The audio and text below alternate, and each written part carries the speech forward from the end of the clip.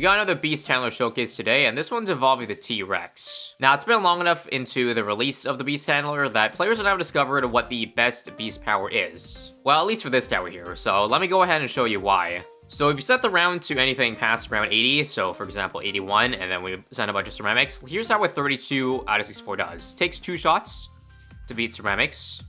Looks like almost enough to one-shot them even, but just missing a bit of damage. Now, when we merge a V-Raptor into the T-Rex, we have 40 out of 64. And take a look at how it defends now. Turns the Cerams into yellows, so we're getting close. 41 out of 64 turns into green balloons. And now 42 turns it into blue balloons. But if we add just one more beast power to the T-Rex, it now has the ability to just one-shot them. And that's pretty much why 43 is the most optimal beast power to stop at. Kinda goes without saying that taking one shot to beat this ram is better than two. And the thing is, this applies to every round after round 80, because the HP of the ceramics never increase, for those who don't know. Use around 140 ceramics, just the speed that increases. So for as long as free play exists, T-Rex will nom every ceramic in one bite. And that showcase just how powerful a Power 43 T-Rex is gonna be. Gonna jump into a run of another Brick Chimps here. Should be a pretty good map for the Beast Handler because you can just put the Beast on the two curves and you'll be just fine. On top of that, once you merge the Beast, you can obviously uh, micro them so that you can start on the top side and then move at the bottom when things are in danger. So it's going to be a pretty high market strategy, but I kind of want to see, well, again, if it's viable. To be honest, most things are viable if the map is easy enough on Chimps mode. So I guess it's more of a test to see how difficult it's going to be uh, to pull off a strategy like this. So basically the strategy is going to be power 43 T-Rexes as our main DPS and uh, support from there. I'm not sure how many of them I can afford, but obviously the most optimal build order it would be uh, one T-Rex for the 16 base, and then four V-Raptors to get your 40, and then three Microraptors. Obviously the cheapest way would be to just get 40 tier 1 Microraptors, because that's usually how the efficiency numbers work, but I'm pretty sure they're close enough uh, for the middle path beast that we can get away with using the V-Raptors for the plus 8. But yeah, don't mind me doing a pretty scuffed early game here. Beast Handlers aren't known for their uh, early game prowess, so I gotta drop a bunch of other random crap too. I think we get the ball rolling really soon though. I just got my Ad my first Adasaurus up. Now, maybe I shouldn't start off with a Beast Handler round 6 because my Adasaurus is now not in a great spot. You see, it just missed a bunch of crap. Come on. This is close. Thank you. But yeah, the range is so tiny right now. Look how pathetic it is. I think I definitely need at least a V-Raptor to help us out. I'm just gonna do a Road Spike. Just save myself the effort. Well, on the bright side, I left out this corner unoccupied, so uh, I guess I can do another Adasaurus over here. That I probably want to merge into uh, the one down here. On a second thought, maybe I'll just have these two as my main beast handlers, so don't merge them. It's probably better for that right now even, because again, early game is pretty rough. I think we're better off having reliability rather than just straight raw damage. There's a V-Raptor, by the way, and uh, need to at least give it a count pot. Even with the V-Raptor, though, I feel like things are really sus. Yeah, still got a micro because it's actually fast enough. Actually, I'll just build my second V-Raptor right now. It feels bad upgrading because I would have gone discount later, so that would have saved me a lot of money, but... yeah, no greed today, sir. We just kind of have to show up at early game, and uh, here's where I save money into round 40 because I'm pretty sure I need both of the Raptors to have intel on the top and bottom. Let me see how close I can get, though. Come on. I don't think I one-shot Cerams, right? It's close. Yeah, not enough, though. So let's start with the following. We just need another Beast Handler to touch the range of uh, the one down here. Get it to just one degree, merge it in, and just like that. Bam.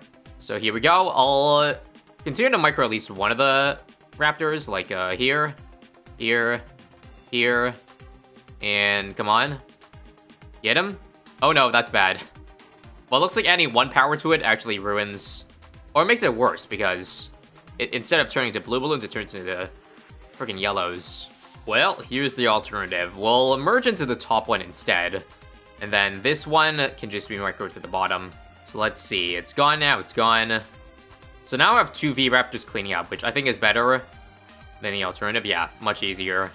Alright, Camo Village and another camp out down here. Should be able to set the counter propels. If not, maybe we'll need some last minute micro. No, we're good. Good to continue that Beast DL, uh, um, Beast Handler action. I think the plan is clear. Just keep on building Velociraptors. So here's a third one. that I'll probably merge the one down here into here at some point, just because this one already has two villages. Might be hard pressed to fit into the Camo Village down here, so I might just use the spot for, like, you know, the bonus to give extra range to the ones up here too, if that makes any sense. Actually, I guess what I could do is something like this. Since there's already one beast center giving intel down here, we don't really need any more over here, so we can just continue getting uh, double discounted V-Raptors, uh, and then merge it into this guy. So now we have 17 out of 24. And let's just get one more up here to turn it into uh, 24 out of 24. And if you guys are have seen the V-Raptor uh, showcase I did not long ago, you should know that max merge V-Raptors are pretty goaded. So I can't actually quite say for certain that getting a T-Rex would be uh, an upgrade, but I gotta think so, at least for round 80 plus. The thing is, before round 80, none of the things I showed at the start of the video applies at all. I think the max V-Raptor itself is already good enough to one-shot Ceram, so... Uh, yeah, I think that that's the play. Just keep it at uh, V-Raptor until round 80. Once around 81 hits, we start pulling out the 43s. Alright, we got two 24 out of 24s, but even then, it's still kind of sketchy, because I guess chasing it means it's not really getting, uh, what do you call it, the good radius. So I think it's probably better to keep it close, and I probably should upgrade that third V-Raptor at the bottom 24. Alright, so new 24 out of 24.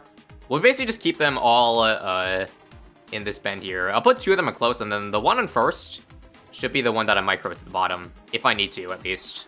And yeah, take a look now. We are unstoppable. 62, 63, all fine. I guess since I need it late game anyways, I'm also just gonna go for a 0-3 MOAB Glue right now. Might as well get it. But yeah, if I want to do some quick maths of how much the uh, 43 T-Rexes cost, well, just one of them alone is already about 15k. And then four V-Raptors, which, that if you want to be generous, cost about 3k each, then we're looking at almost 30,000 in total. So these are not that cheap, and I guess that's why I'm stopping only three of them. That'll be 90k into the three T-Rexes, then... Yeah, 70k for support sounds about right to me. And you see what I mean?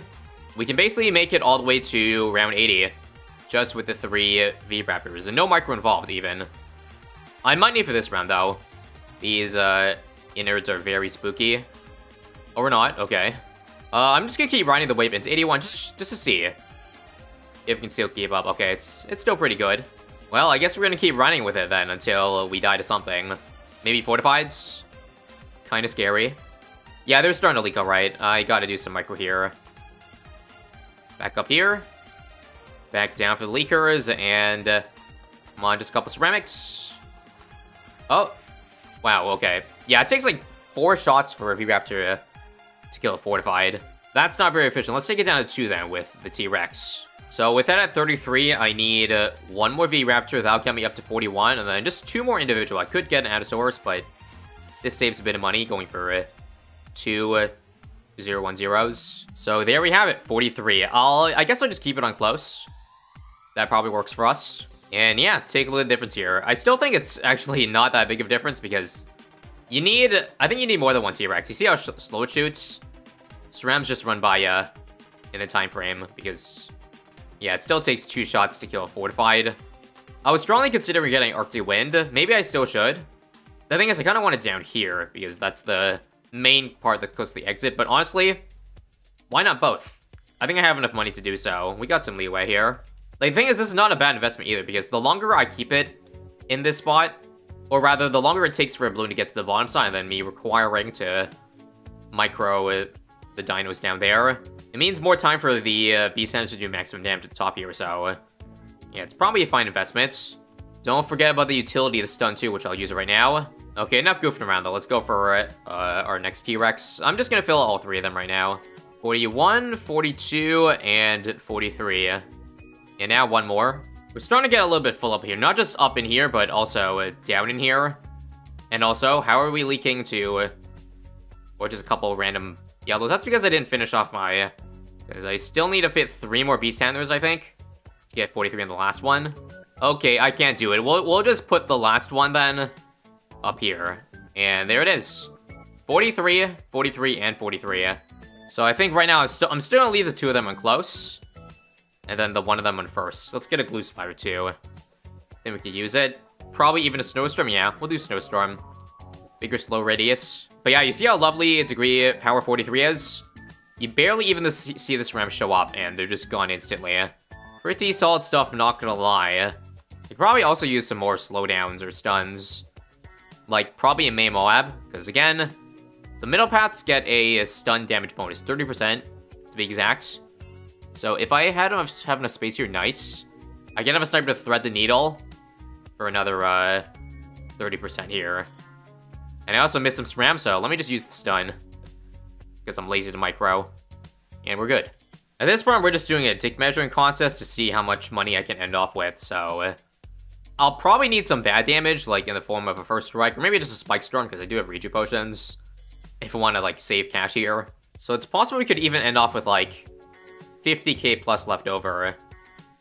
Let's just see how 95 is first. I will go ahead and uh, stun now. I'll probably need another stun here for the Cerams. Yep. Other than that, though, nice and easy. And how about for 96 here? Also nice and easy. Yeah, let me just go ahead and... I'll use a Snowstorm for this one. And then I guess another stun. Bam.